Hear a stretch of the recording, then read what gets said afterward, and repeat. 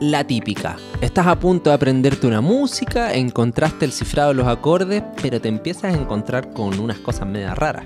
Sol 6-9, Re sus 4 con bemol 9, Fa sostenido 13, Mi bemol más 7 con sostenido 11. ¿Qué es eso?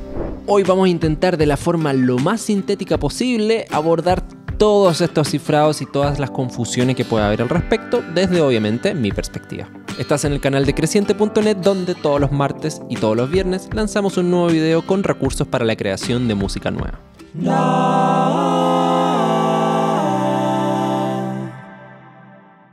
Primero que todo, ¿por qué el cifrado? ¿Para qué nos sirve? El cifrado de acordes está hecho para expresar de manera sencilla y rápida la armonía subyacente a una melodía o a un arreglo en concreto. Entonces, en parte es una solución rápida para no tener que escribir nota a nota el acorde en la partitura, además de que brinda cierta libertad porque a mí me dicen Remax 7 y yo ese Remax 7 lo puedo tocar en distintas disposiciones. Puede ser algo como así o puede ser ahí, o inclusive... Entonces, puedo hacer muchas cosas con ese símbolo. En el fondo se trata de simplificar la transmisión de información armónica. Como tal, y ahí entra mi opinión, yo creo que hay que mantenerlo lo más simple y conciso posible. A mí no me gustan esos cifrados raros de omit 5, add no sé cuánto, y bueno, está bien. Al final vamos a hablar un poco de eso, de acordes que muchas veces no son lo que parecen. Sinceramente, si el cifrado se complica mucho, yo prefiero escribirlo en partitura, porque sale más fácil. Y lo otro es que para mí el cifrado no habla de disposición. Entonces hay gente que en vez de novena le pone segunda, dependiendo de la octava en la que está. Para mí eso no es así, pero obviamente es una opinión y bueno, música cada cual puede hacer lo que se le cante. Bueno, vamos a lo sabroso, ¿no? Entonces, vamos a usar un re. Por ahí me dicen que me gusta mucho el re. Bueno, sí, me gusta el re. ¿Y qué tanto? Ah.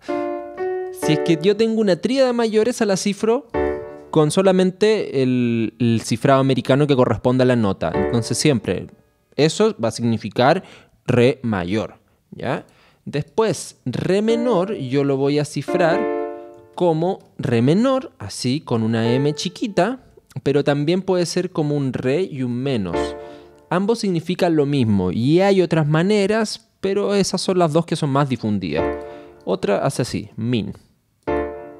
Yo uso más esta, pero ahí, para gusto, bueno, hay de todo.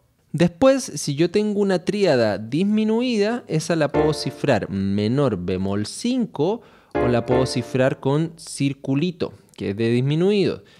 Yo encuentro que a veces se confunden y piensan que eso es como un disminuido completo, pero no pasa nada tampoco. Y en ese caso tengo la bemol, ¿cierto? Bien ahí. Después, una tríada aumentada que tiene quinta aumentada se suele cifrar con un más. También se puede cifrar aum o, como lo prefiero yo, que para mí es lo más claro, pero obviamente ahí hay gusto, re con sostenido 5. Vamos a los sabrosos, ¿bien? Acordes de cuatro notas. Entonces, cuando es más 7, tiene séptima mayor y en ese caso se pone más 7. Bien, otras veces se pone más 7. Bueno, está bien, yo prefiero más 7. También está la versión triangulito, que triangulito sería una cosa así, pero ese mismo. Bien, grande Music Score. Bueno, triangulito está re bueno. A mí me gusta, la verdad. Lo que es importante aquí es que el triangulito y el Max 7 no hacen referencia a la tríada, sino a la séptima. Entonces, si es que yo tengo un re menor con séptima mayor, va a ser re menor Max 7 o re menor triangulito. Bien. Ahora, aquí yo suelo poner un paréntesis para que quede más claro. Si es que es con el menos, bueno, queda claro igual. Pero ahí como que hay que ir poniendo paréntesis para ordenar el buque, ¿ya? Igual que con el sostenido 5, porque si yo pongo re sostenido 5, ¿qué va a aparecer? Que es un re sostenido 5. Y que 5 sería como power chord, ¿cierto? Entonces, ojo con eso, porque a veces bueno, puede ser muy desastroso un ensayo en el que esté mal cifrado, imagínate la tremenda diferencia. Después ya todos sabemos prácticamente que un re 7 tendría, es una tríada mayor con séptima menor. Yo no conozco otra manera de cifrar el re 7. Nunca lo he visto. Si conocen otra, genial. Y ese 7 es lo contrario a ese más 7. En este caso ese 7 siempre es séptima menor. Entonces si yo tengo un re menor, 7 sería re menor con séptima menor. Ah, bueno, qué fácil. Y acá nos vamos ya hacia los disminuidos y semidisminuidos. En este caso, re menor 7 con bemol 5 y que yo prefiero ponerlo entre paréntesis, creo que queda mucho más limpio y muchas veces lo he visto así, y si no, chiquitito arriba, ¿bien? Como superíndice, que también es muy buena. O bueno, re menos también podría ser, pero yo voy a usar la M porque estoy acostumbrado a usarla. En ese caso es un semidisminuido y tiene séptima menor y bemol 5. Hay otro cifrado que sería re que... A ver, déjeme buscarlo. Lo hice medio a la mala, pero bueno, es más o menos eso, un círculo rayadito, que me parece que los noruegos lo tienen así como por defecto. Bueno, nosotros no, y por eso es medio complicado porque en el teclado no lo encuentran nunca. Pero bueno, eso también, semidisminuido. Después el disminuido completo tiene séptima disminuida, que en este caso es do bemol, ¿cierto? Y ese se cifra siempre dim, así de disminuido, y disminuido 7. Ya póngale el 7, mejor. Al final, bueno, yo antes usaba el circulito para los disminuidos 7, pero al final, como todos se confunden, mejor ser más específico, ya, asegurarse. Circulito 7 entonces disminuido 7, disminuido con séptima disminuida. Y después tenemos los acordes con sexta. Bien, entonces tengo re mayor con sexta, que se cifraría re 6. No me pongan cosas como re add 6, porque re 6 toda la vida se ha cifrado así, re 6. De hecho, el 6 se ocupaba mucho antes que el max 7, o sea, hay que tener ahí algo de consistencia con la historia igual. Y a veces, max 6, raro, pero Gordy, por ejemplo, lo hace así. Bueno, está bien. Y su versión menor, que sería Re menor 6. Entonces la sexta siempre implica una sexta mayor. Si es que por alguna razón muy misteriosa yo tuviese que hacer un acorde mayor con bemol 6, que son acordes que técnicamente no existen, le pondría entre paréntesis bemol 6. Al final vamos a hablar de eso, de por qué no existen esos acordes. Bien, ahora, sobre ese mismo re. ¿Qué pasa con los suspendidos? Si es que yo tengo un re sus 4, implica que es un acorde que tiene cuarta y no tiene tercera. Bien, los sus no tienen tercera. Como diferencia, sus 2 me implica un acorde que tiene segunda en vez de tercera. Bien. Y si es que tengo solo sus, se asume que es sus 4. Después, re 7 sus o re 7 sus 4 implica que tiene séptima menor y que tiene la cuarta en vez de la tercera. Ahora, ¿esto implica que es de función dominante? Bueno, hay todo un tema respecto a cómo cambian las funciones en los suspendidos y que lo explicamos más en nuestros cursos, pero a grandes rasgos Sí, se usa sobre los acordes dominantes y los suaviza. Pero ojo que en ciertos contextos voy a tener que usar ese cifrado para implicar acordes que de tener tercera tendrían tercera menor. ¿Ya? Entonces no siempre que vean un Re 7 sus va a ser como, eh, por decir así, un reemplazo de un Re 7. ¿ya? No siempre. Muchas veces sí. Y también está el caso de lo que yo a veces he visto como sus 2-4, que sería un re con segunda, con cuarta, ¿bien? Y generalmente con quinta también que lo sostiene. Y e inclusive yo he visto re sus en el jazz, que bueno, los jazzeros les gusta eso, de que les dicen una cosa y le ponen de todo, y le ponen sexta, todo. Es como un re 13 suspendido. Bueno, pero son casos bien específicos. Si quieren más de eso, pueden verlo en el The Jazz Piano Book de Mark Levine. Después, el add. ¿Para qué se usa el add? Yo personalmente utilizo el add para añadir tensiones a tríadas. Entonces tengo re menor, por ejemplo, con add 9, ¿ya? Que sería eso. Después eso, ¿se puede disponer aquí? Sí, se puede disponer en cualquier lado en realidad, porque como vimos en el capítulo de disposición, de voicing, en realidad como que la disposición, si mientras yo mantengo un balance más o menos de lo que estoy diciendo, puedo poner en casi cualquier octava ciertas cosas. Obviamente eso no, pero bueno, ahí vayan a ese capítulo para verlo más claro. En el caso de los acordes menores, puede ser que sea add 11, por ejemplo. Puede ser que sería en este caso eso, por ejemplo. Bien, o ahí. En el caso de un acorde mayor generalmente no va a ser add 11 porque en ese caso estaría añadiendo algo que en realidad no, no está dentro del acorde. Esto sería como otro acorde porque tiene una tensión no disponible. Bueno, ¿se puede? Sí, se puede. En ciertos contextos modales especialmente se puede tener una oncena añadida a un acorde mayor. Medio raro, bien raro en realidad. Pero lo que sí es muy común es el add 9. ¿Bien? Un mayor con add 9. Obviamente no voy a hacer add 6 porque ya dije, la sexta la pongo nomás, ¿ya? Ahora, si es que tengo un acorde que tiene sexta y novena, entonces es 6, 9, ¿bien? Que sería re mayor con sexta y novena. Ah, bueno. Y menor 6, 9. Así. Ah, listo, qué bien, qué cómodo.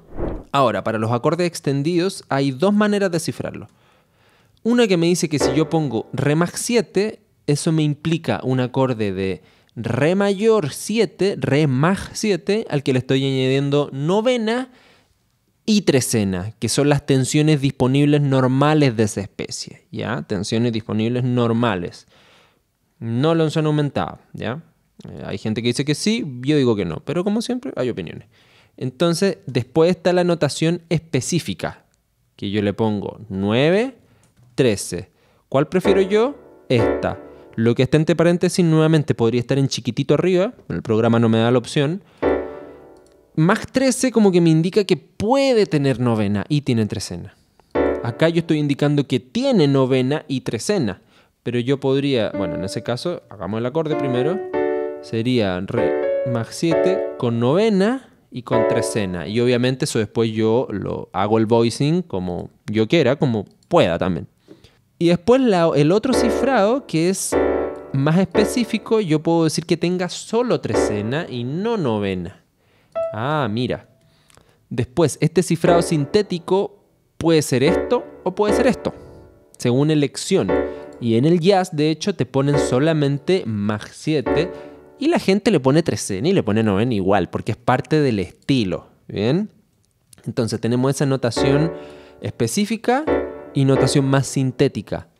En ese sentido, si yo pongo re menor 13, por ejemplo, sería re menor con sus tensiones, re menor 7 con sus tensiones 9, 11 y 13, porque son todas disponibles, salvo en ciertos casos, pero si le pongo 13, claro, sería re menor 7 con 9, 11 y 13. Pero obviamente yo podría, por varias razones, querer definir solamente algunas de esas tensiones. ¿ya? Entonces me quedaría, por ejemplo, con 9 y con 13, supongamos. Con novena y con trecena. Entonces en ese caso yo le quito la oncena acá. Bien. Y estas dos, en este cifrado, estas dos son opcionales. O sea, este podría, significar esto, podría significar esto, o podría significar inclusive esto. ¿Ya? Después tú te preguntarás, ¿y cuál es la diferencia entre re menor 7 con novena y trecena y re menor 6, 9? Bueno, mírala por ti mismo. La diferencia es que re menor 6, 9 no tiene séptima. Cuando tiene séptima eso, ya se empieza a llamar un re menor 7 con trecena y la trecena se siente como una tensión. Y en el caso de, por ejemplo, que yo tenga un re menor 7 con bemol 5 y otras tensiones, y que generalmente es bemol 13 y novena, puede ser, sí, no tiene por qué ser tan raro en ese caso sería así. Y se puede. Sí, se puede. Y yo lo cifro así, la verdad. He visto otras maneras, pero para mí queda cómodo así, la verdad. Lo, entiendo. Y eso es lo importante, que lo entienda. Si tienen otra manera, genial. Pero lo importante es que se entienda. Después, los MAG 7 que llevan oncena aumentada, que son de un modo acorde lidio, Bien. Esos yo prefiero cifrarlos directamente así. ¿Ya? Directamente como bien específico de que tienen la oncena aumentada. Yo no me compro mucho eso de que más 13 implique esa oncena aumentada por ser la única oncena posible que, en realidad de verdad funciona. Mm, eso que hablamos en la clase de tensiones hace dos clases atrás.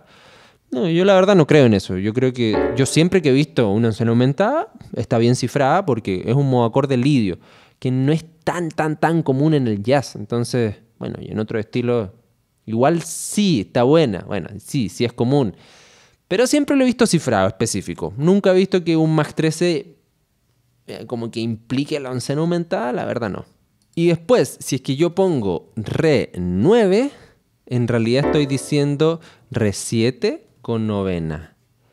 Ah, miran, ¿por qué? Porque si yo pongo re 9, estoy implicando que ese, ese 9 está implicando el 7, ¿ya? Porque si yo quisiese esto, o sea, una tríada más la novena, sería ad 9, como dijimos antes. Entonces sería re 7 con novena. Y así mismo, si pongo re 13, sería re 7 con novena, posiblemente con novena y con trecena. Bien, entonces tendría que poner ese 9, digamos, es opcional. A menos que esté usando la notación específica, ¿cierto? Y después, todas las tensiones que llamamos alteradas, como estas y esta, bemol 13, bemol 9, lo que estuvimos viendo la vez pasada, todas las ciframos entre paréntesis después del 7. Todas. Salvo en el caso que yo ponga re alt. Que en ese caso, a ver, claro, re alt, que sería un re con 7, ¿cierto? en realidad Re7 sin quinta acá, que puede tener bemol 5, puede tener bemol 9, puede tener sostenido 9 y puede tener bemol 7, o sea, una escala completa de acorde. Pero generalmente yo prefiero cifrar esas tensiones alteradas. Ahora, si te ponen alt, no es que tengas que ponerle todo, pero puedes elegir algunas de esas. Y por sobre todo es que no le pongas quinta justa porque los alterados no tienen quinta justa. En ese caso, opción segura, si te ponen alt y no sabes qué hacer, haces el shell y listo. Entonces, para las tensiones alteradas, yo prefiero que usen cifrado específico. O sea, de hecho, es la única manera.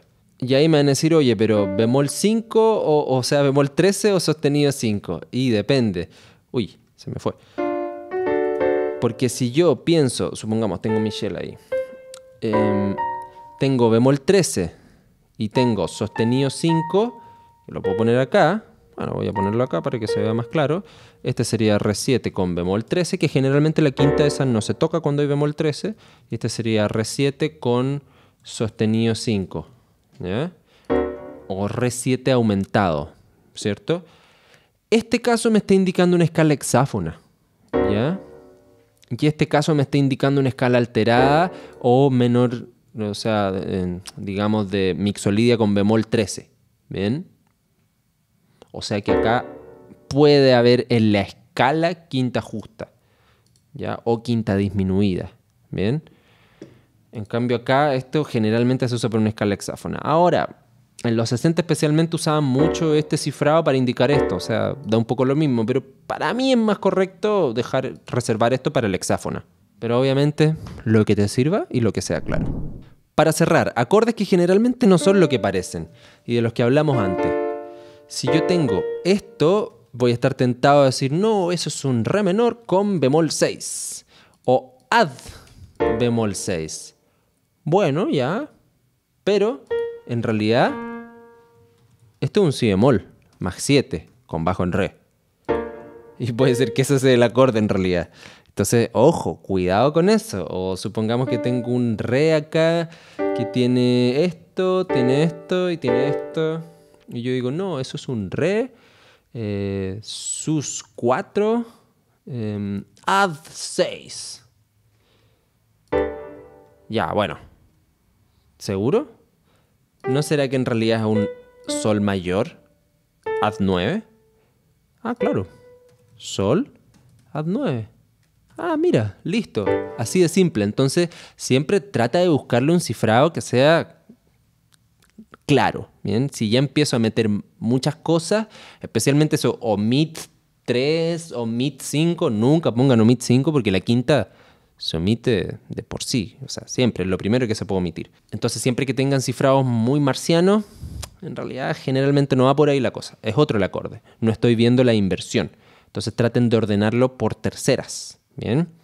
O traten de buscar qué otro acorde podría ser. En realidad definir cuál sería realmente la fundamental aquí, eso es el tema, ¿ya? De hecho acá podría yo tener otras opciones y bueno, podría ser otra cosa, pero dejémoslo hasta ahí. Si bien es un montón de información, en realidad era para quitar confusiones, para que lo tengan de referencia, puedan revisar algunas cosillas que por ahí les interesen y tenerlo para el futuro, para cuando se encuentren con algo raro, buscan ahí la sección de cada especie, de cada grupo de especies. Bien. Si hay acordes que no conocen esta tremenda lista, no te recomiendo para nada incorporarlo hacia lo bestia porque todo viene en su momento. Experimentar una que otra cosita. Pero recuerde que la música es un camino, o sea, tienes que darle a ese camino para realmente entender lo que estás haciendo y conocer estos acordes uno por uno. Cada uno de estos se va a mostrar en el momento oportuno. Te dejo un gran abrazo y nos vemos en el próximo video donde vamos a explorar algunos acordes específicos, muy lindos y que tienen cifrados también bastante claros. Nos vemos.